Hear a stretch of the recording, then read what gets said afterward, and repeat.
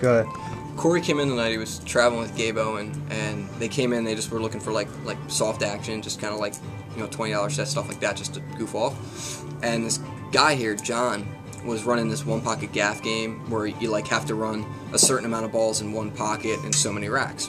And I think the game was Yeah, it's a we'd yeah fun game. we'd been playing It's like like, I think coast. 35 balls in five racks between like you know us like the local bangers.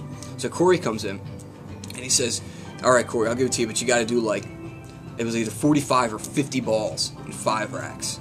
So Cory's like, "All right, I'll do it." And they're actually I think they were betting a pretty decent amount, like a couple few hundred dollars, you know.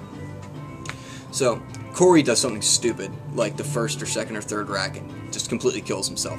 He needs 29 balls in two racks, and he does it.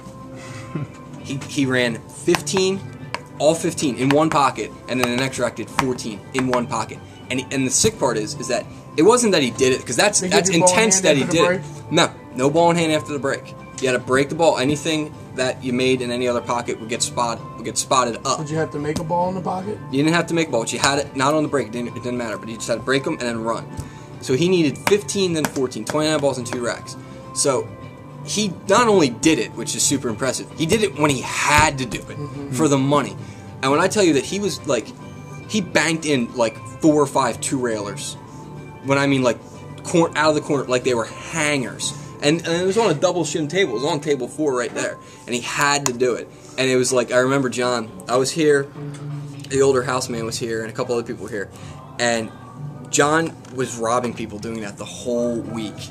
Like people are just getting killed. Right. And Cory comes in. John tries to trap him, saying, "Do 50 balls." He does 29, you know, in the two racks when he absolutely has to. I don't think John's bet on it since. I wouldn't either. It was literally when I tell you it was the strongest thing I ever saw. He was playing position in ways that you just aren't human. I heard Gabe did something similar to it Right. because I think uh, at Derby a few years ago, I heard through a few people that Gabe ran something like in five racks he ran like 60 some balls in one pocket.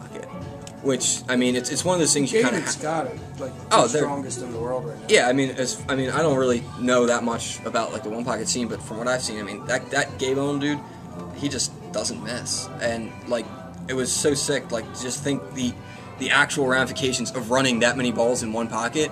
You have to have absolute perfect control of your cue ball and be an incredible shot maker. You know, because that's what Cory did. I mean, he was he was getting on balls that'd be this far off the rail, and he's getting behind it to shoot it in. You know, it's sitting in like you know right past the side pocket on the wrong side of the table, and he's banking a ball. And then I remember he banked the ball in like this, like he had a bank it, just a simple short rail bank. He flattens out the cue ball with high angle, hit it 8,000 miles an hour, goes all the way up the table, flat out the corner, and breaks up three balls that are in the pocket, gets on a ball, and continues running. You know what I mean? It's just, it's inhuman.